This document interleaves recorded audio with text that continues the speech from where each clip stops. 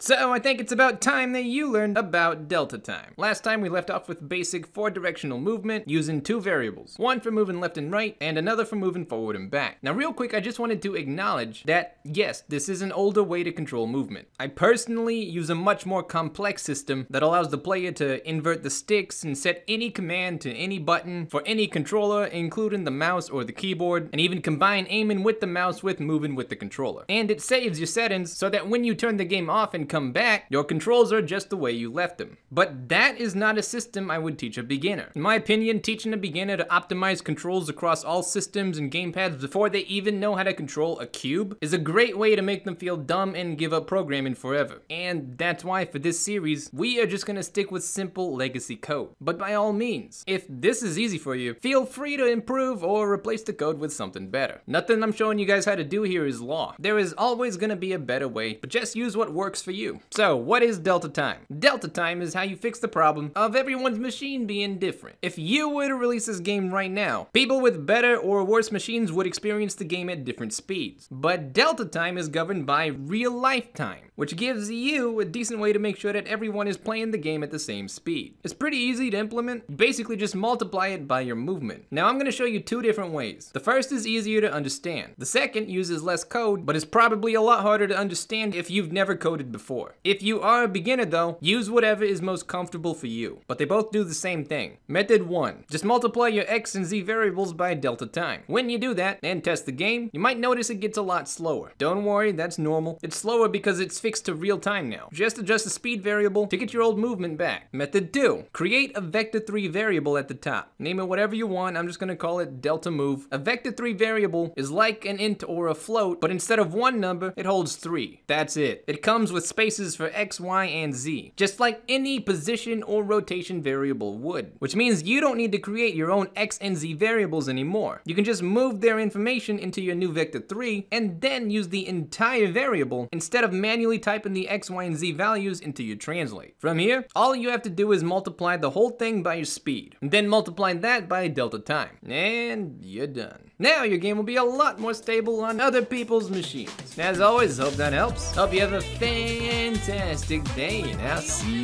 you